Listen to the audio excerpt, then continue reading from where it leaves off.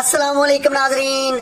इस वीडियो में Gouldian finch के बारे में मुकम्मल तफसील से बताया गया है। गोल्डियन फिंच को lady Gouldian finch gold finch और रेबो फिंच भी कहा जाता है। अठारह सौ इकतालीस में जॉन गोल्ड ने अपनी मरहूम बीवी लेडी एलिजबेथ गोल्ड के नाम पर इस फिंच का नाम लेडी गोल्डिया रखा और इसे दुनिया का खूबसूरत फिंच करार दिया।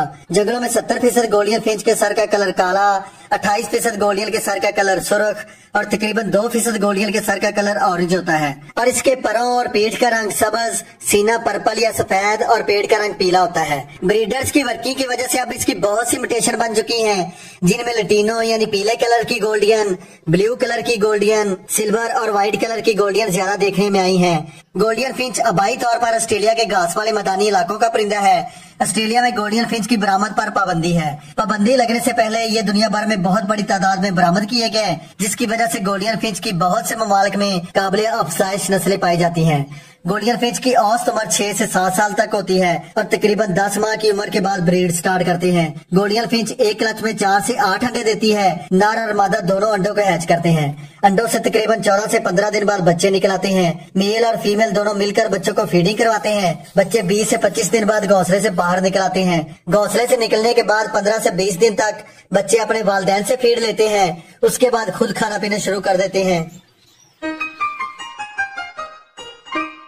अगर आपने पहली मरतबा परिंदे रखने हैं या आपको परिंदे पालने की मालूम नहीं तो पहले आप बंगलाइज फिंच के 10-12 पेड़ लेकर उनको केज पे केज लगाकर ब्रेड लें। जब आपको तजर्बा हो जाए, तब गोल्डियन फिंच के पेड़ लें। और जिन बंगलाई से आप ब्रेड ले रहे थे, उनको फोस्टर के तौर पर इस्तेमाल कर लें। बेंगलाइज फिंच को पालने के बारे में वीडियो मेरे चैनल पर मौजूद है वो देख लें। गोल्डियन फिंच अपने खूबसूरत रंगों की वजह से दुनिया भर में बहुत पसंद किया जाता है लेकिन इस वक्त गोल्डियन के ब्रीडर बहुत कम हैं, जिसकी वजह से इसका रेट दूसरे परिंदों की निस्बत कभी कम नहीं हुआ और इसकी डिमांड रोज बरोज बढ़ती चली जा रही है।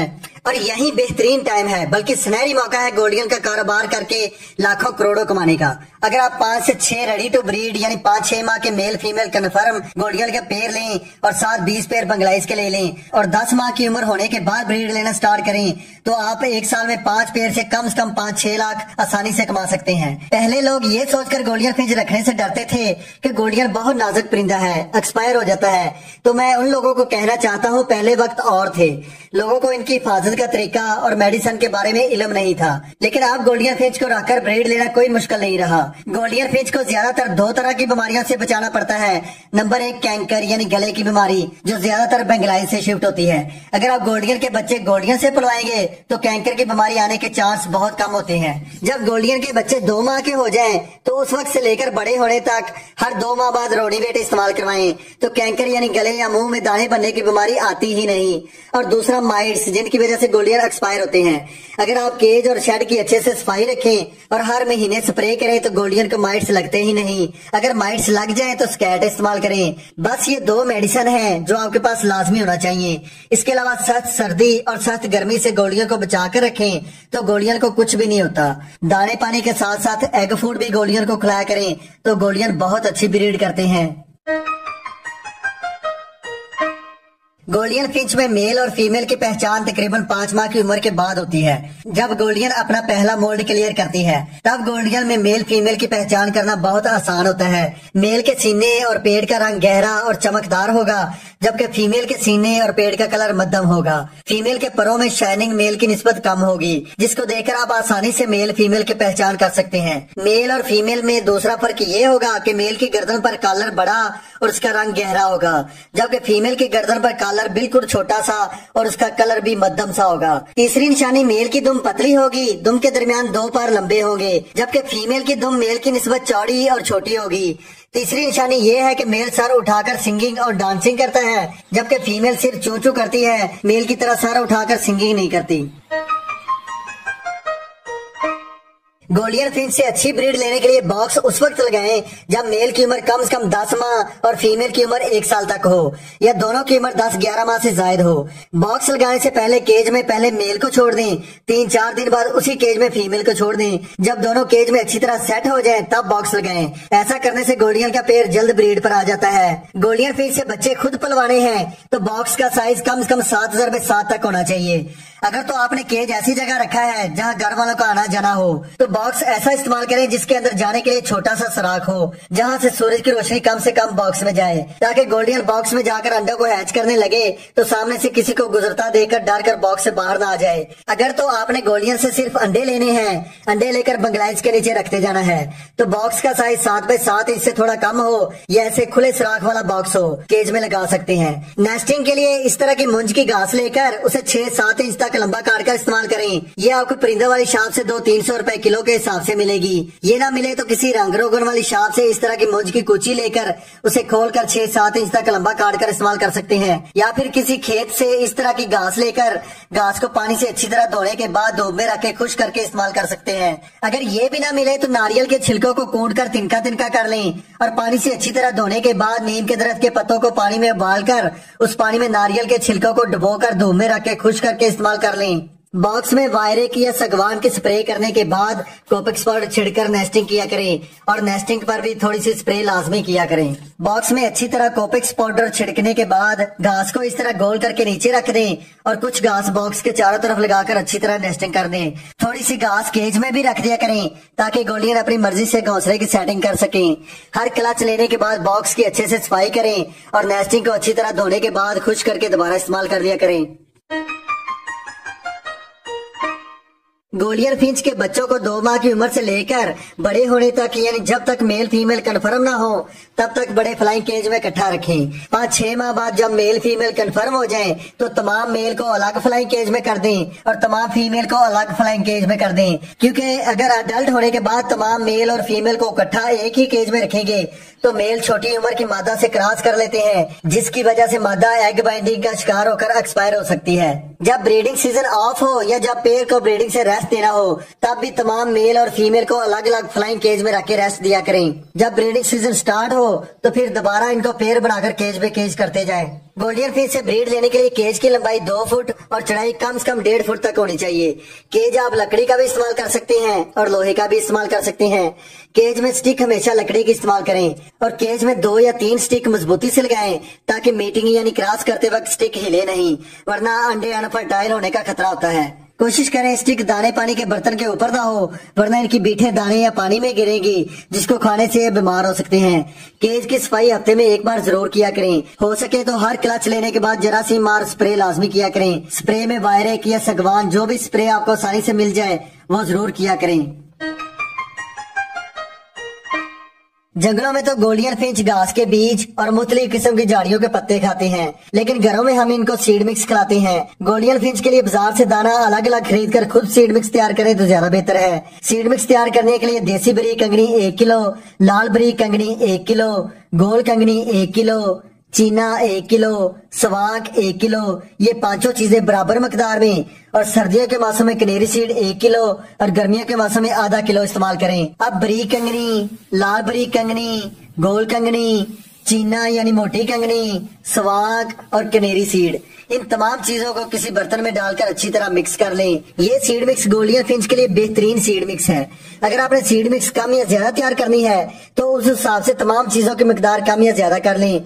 लेकिन वज़न के लिहाज से तमाम चीज़ों की मकदार एक जितनी होनी चाहिए। ये सीड मिक्स केज से कभी खत्म ना होने दें। गोल्डियन फिंच को आप खुले बर्तन में भी सीड मिक्स डालकर खिला सकते हैं और इस तरह के सीड मिक्स के बर्तन में भी डालकर खिला सकते हैं। लेकिन जब आप कहीं से नया परिंदा लेकर आए तो कोशिश करें उसको वैसे बर्तन में खिलाएँ, जिसमें परिंदा पहले से दाना खाने का आदि हो। जब आप किसी से नया परिंदा लाते हैं तो एक तो पहले ही परिंदा नई जगह पर आने की वजह से स्ट्रेस में होता है। ऊपर से दाने पानी का बर्तन छोटा या बड़ा लगाएँगे तो वो खाए पिएगा नहीं तो बीमार हो सकता है। सीड मिक्स के बाद एग फ़ूड गोल्डियन के लिए बहुत ज़रूरी है। गोल्डियन के बड़े ब्रीडर पेयर के लिए मुख्तलिफ़ किस्म के विटामिन वाला सॉफ्ट फ़ूड बना सकते हैं। लेकिन गोल्डियन के बच्चों और बेंगलाइज के लिए सिंपल एग फ़ूड तैयार करें। अगर बच्चे छोटी उम्र में तेज विटामिन खाएँगे तो उनके पोट खराब हो जाते हैं, जिसकी वजह से बच्चे एक्सपायर हो जाते हैं। गोल्डियन फिंच के बच्चों के लिए एग फ़ूड तैयार करने का सिंपल तरीका ये है कि दो अंडों को दस मिनट तक अच्छी तरह उबाल लें। फिर ग्राइंडर से या कश लेकर अच्छी तरह कश कर लें। अब इसमें एक चम्मच समुद्री झाग का पाउडर, एक चम्मच मरिंगा का पाउडर मिक्स कर दें।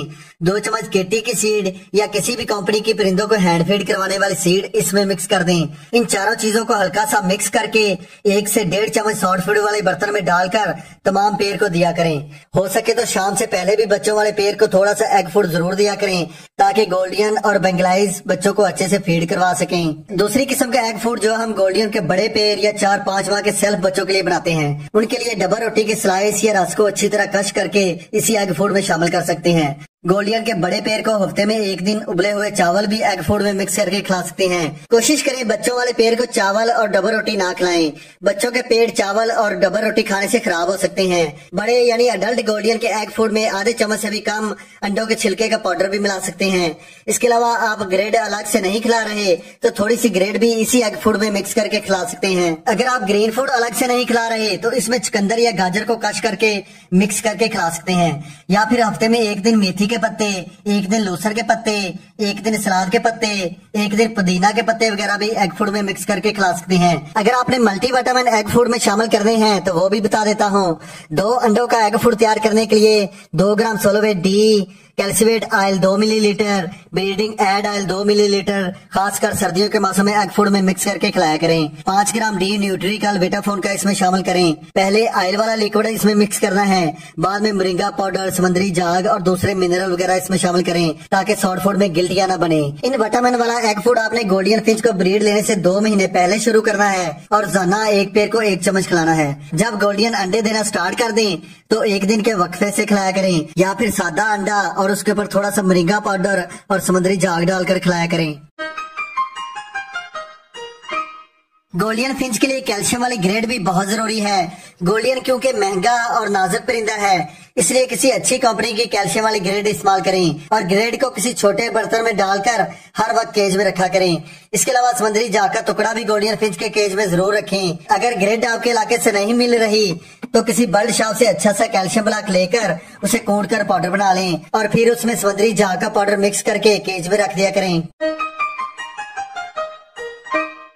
गोल्डियन फिंच की अच्छी सेहत के लिए ग्रीन फ़ूड बहुत ज़रूरी है। ग्रीन फ़ूड आप अलग से भी खिला सकते हैं और एग फ़ूड में मिक्स करके भी खिला सकते हैं। ग्रीन फ़ूड में मकई की ताज़ा और दूध या नरम छल्ली, गाजर या चुकंदर को कश करके खिला सकते हैं। इसके अलावा लूसन के पत्ते, मेथी के पत्ते, सलाद के पत्ते, नीम के दरख्त के पत्ते पालक के पत्ते, पुदीना के पत्ते और गर्मियों के मौसम में हफ़्ते में एक बार धनिया के पत्ते। इनको पानी से अच्छी तरह धोने के बाद छोटा छोटा काट कर खिला सकते हैं। हफ़्ते में एक दिन उबले हुए आलू भी कश करके खिला सकते हैं और गर्मियों के मौसम में कद्दू भी कश करके खिला सकते हैं। इसके अलावा दानों का स्प्राउट भी गोल्डियन फिंच बहुत शौक से खाते हैं।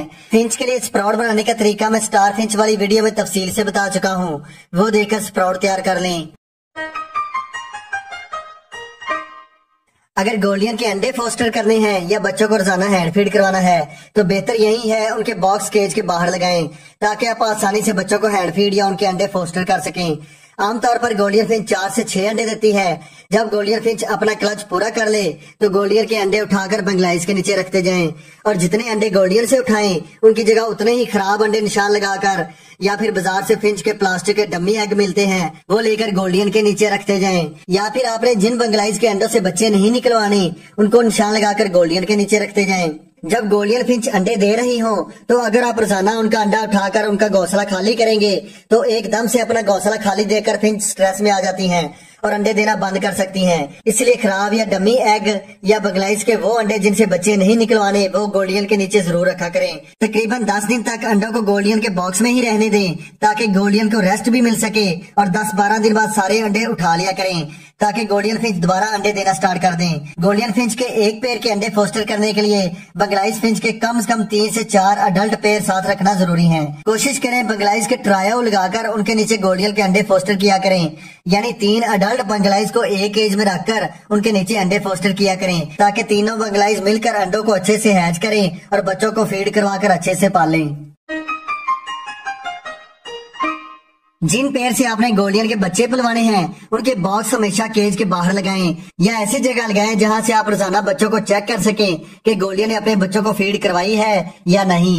अगर फ़ीड नहीं करवाई तो आप बॉक्स में बच्चों को आसानी से हेड फ़ीड करवा सकें। और जिन गोलियों से आपने सिर्फ़ अंडे लेने हैं, उनके बॉक्स आप केज के अंदर भी लगा सकते हैं। हेड फ़ीड करवाने के लिए आप केटी या किसी अच्छी कंपनी की फ़ीड लें। और जितनी फ़ीड आपके गोलियन के बच्चे एक वक्त में खाते हैं, उतनी लेकर इस तरह का पेस्ट बना लें, जो ना ज़्यादा गाढ़ा हो और ना ज़्यादा पतला हो। और ज़्यादा ठंडा भी ना हो।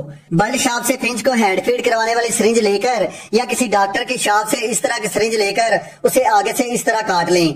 बस ये वाली नोक रहने दें। फिर इसमें ये लिक्विड डालकर जिन गोलियों के बच्चों के पोर्ट खाली नज़र आए उनको सुबह और शाम थोड़ी थोड़ी फ़ीड ज़रूर दिया करें। बहुत ज़्यादा फ़ीड नहीं देना, वरना बच्चे एक्सपायर होने का खतरा होता है। बच्चों के मुँह के पास सिरिंज लेकर जाए तो बच्चे मुँह खोलकर खुद ही फ़ीड ले लेते हैं। लेकिन अगर बड़े बच्चे या कोई बीमार बल्ड होगा तो वो आपसे डरेगा, मुँह नहीं खोलेगा। ऐसे परिंदों को हाथ में पकड़कर फ़ीड करवाया करें। और जो फ़ीड बाकी बच जाए, उसे जाया कर दिया करें। और सिरिंज को अच्छी तरह धोने के बाद दोबारा इस्तेमाल कर लिया करें। गोल्डियन फिंच में मेल की उम्र 10 माह से जायद हो और फीमेल की उम्र एक साल से जायद हो, या दोनों की उम्र तकरीबन एक साल तक हो तो अंडे अनफर्टाइल नहीं देते। ब्रीड भी बहुत अच्छी करते हैं।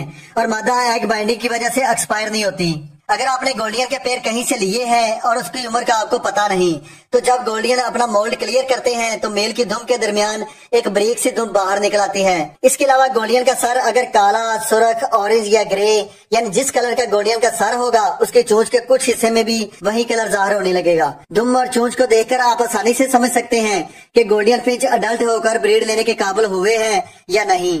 गोल्डियन फिंच सितंबर से अप्रैल के महीनों तक ब्रीड लेना चाहिए।